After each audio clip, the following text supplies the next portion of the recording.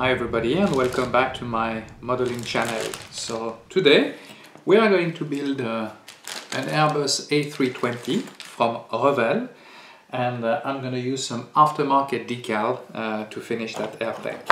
So let's open the box or the kit and see what we have inside. So I got that kit most probably from eBay as it came as a bag kit so I don't have much things I don't have all the instruction sheet but it's a pretty simple kit to build. And um, it will be quite easy as I did uh, a lot of those in the past. So initially the first sprue we have uh, the cockpit uh, windscreen and the nav lights. And we have the fuselage which is composed of two parts as we can see. And they are uh, the panel lines are engraved inside the kit itself. So on the middle, on the center part of the sprues, we have uh, all the details for the undercarriage and we'll have the options of uh, putting the gear up or down.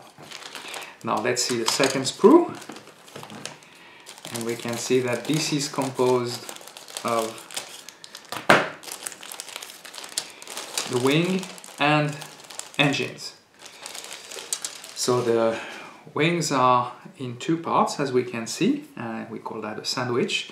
We have the winglets over here and the vertical stabilizer. Now these planes has only one version for the engines so I won't have any uh, other options but uh, as I have my uh, box I might be able to do something. So what we have now, what we are going to do, we are going to do I had some uh, old decals from uh, Braz Decal and I'm going to do basically uh, a special livery from uh, Air Canada on the A320 and that was for their uh, Raptor uh, basketball team. So as you can see that sheet is composed of uh, a different, uh, three different A320 you can do, they're all Canadians. You have Tango, which was the low cost of Air Canada, you have the Raptor from Air Canada, special livery, and Canadian Airlines A320. So enough talking and see uh, what we can uh, get at the end of that. So we are going to start uh, that kit by preparing the parts and as you can see there is quite a lot of work as uh, a lot of plastic went through the mold and uh, so it's been spreading around. So uh, initially mainly on the wings um, I had to, to do a lot of a lot of work. After that, a little bit of uh, preparation for the fuselage, but that was uh, I would say more or less uh, at the correct level. So I will uh, fit as well uh, some modeling paste as used as ballast to avoid and to prevent the model to sit on its tail. And after that, of course, we're going to glue two half of the fuselage together.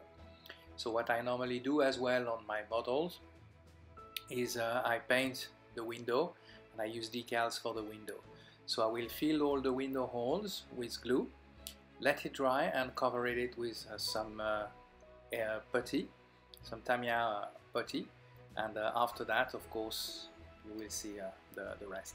So now what we're doing we are gluing the wings and uh, after that I'll put the clear part on the basically the cockpit window on the, the model itself and when it will dry I'll to avoid to spread too much of that putty uh, what I will do is I will uh, start putting some uh, adhesive tape on around the windows and then uh, fill the windows uh, with some Tamiya putty.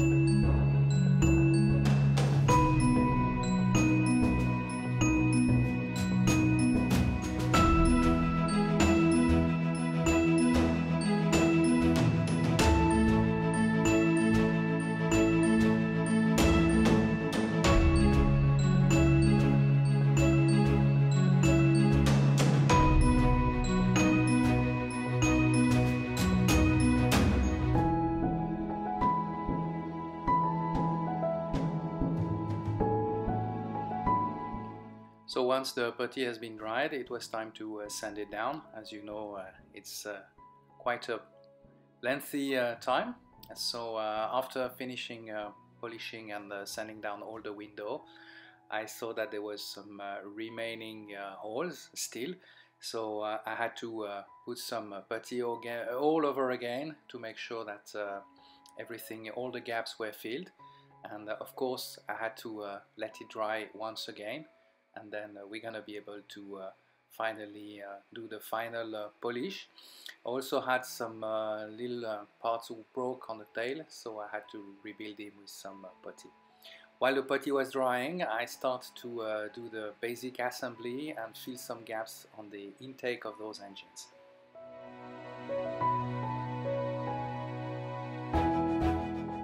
Now we're going to work on the, the undercarriage of the aircraft, so of course I'll have to prepare the parts and uh, there was a little bit of uh, extra work as uh, the plastic had, uh, had been leaking through the mold. So after that I use uh, some light grey to paint the wheels, the um, inside of the wheels, and then I use some metal gun color from Tamiya to paint the carbon brakes basically on the back of those wheels and of course I use again the same uh, gray color to paint the inside of the, the wheels.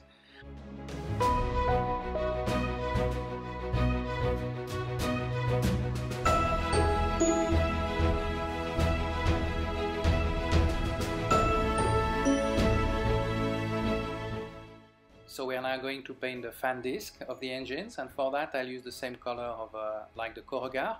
It's a mix of dark gray and metallic paint. Of course I will uh, do the final adjustments and uh, try to remove all the extra putty that I had on the inside part of uh, the engine and after we'll do the uh, assembly of the engine uh, itself.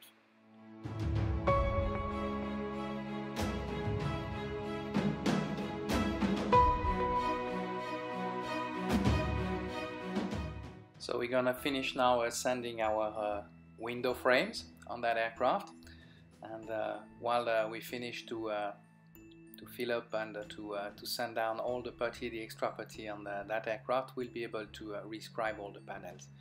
So for this, I will be using a razor blade saw and uh, after that to rescribe everything and I will use a rescribing tool just to finish basically the uh, panel lines. It is now time to uh, glue our wings to our main body and put the horizontal stabilizer. After that, of course, there will be uh, some more uh, putty required to uh, fill up all the gaps between the wings and the main part of the fuselage.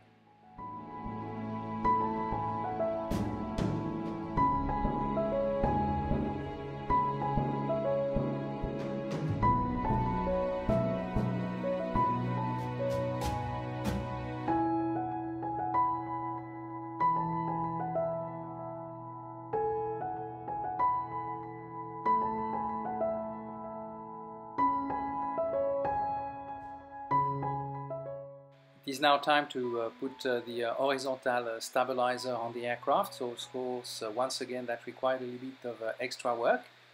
And as there was a lot of plastic leaking on the model.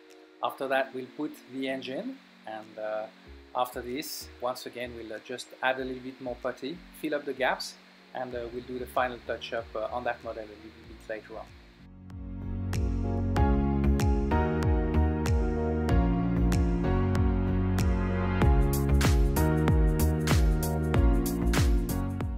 It's now time to uh, join the paint shop. So for this I will start initially with the Corrugator and uh, that part I normally use a dark grey color mixed with a little bit of um, aluminium, flat aluminium uh, from um, Tamiya.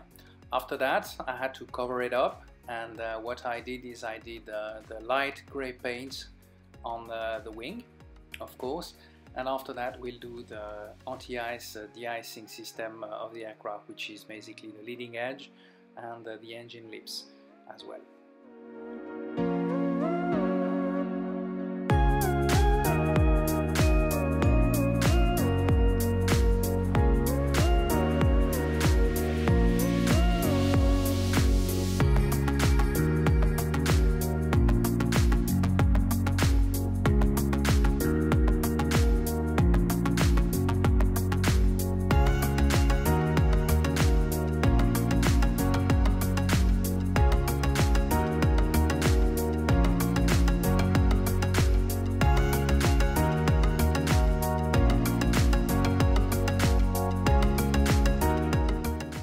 After finishing uh, the paint, now it's time to remove uh, all the, the masking, all the masking tape on that model. So after that, we'll be able to start processing the decal. I have to say that uh, decaling this aircraft, where the decal were pretty good. I used Braz decal. But the main problem was the head of the Raptor, as uh, the decal is a very uh, large one and uh, the surface is uh, not very um, very flat so I had to use uh, some uh, decal solution but also I had some uh, wrinkle on the decal you will see when it dry and I had to also add a little bit of extra paint that I hand painted. The final result you will see toward the end but that was the main challenge basically on decaling that aircraft.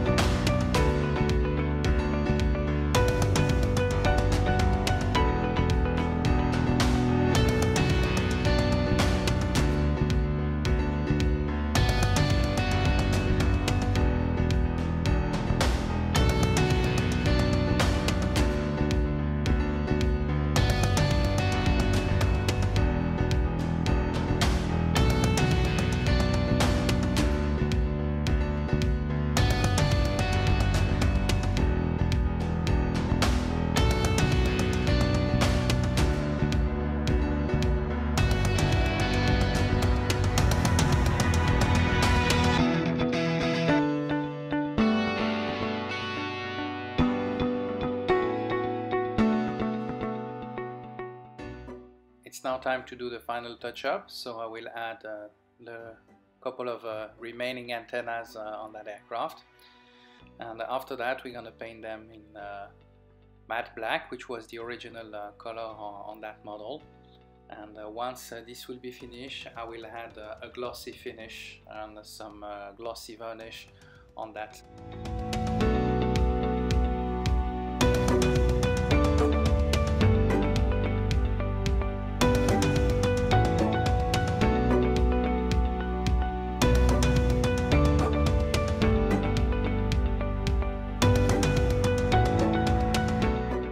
So this is the end result of that uh, Airbus A320 from Air Canada with the Raptor livery.